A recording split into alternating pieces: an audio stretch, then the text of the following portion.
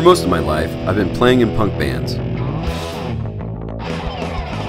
I've played a lot of shows and gone on some pretty rad tours. Some of my bands even put out records.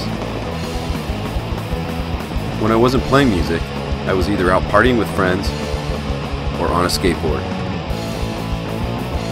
Then I moved away from home and ended up in Portland, Oregon.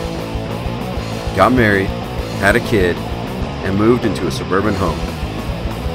I'm older and life is different now. I'm Kevin Cross, and this is the Diary of a Middle Aged Punk. Welcome to my channel.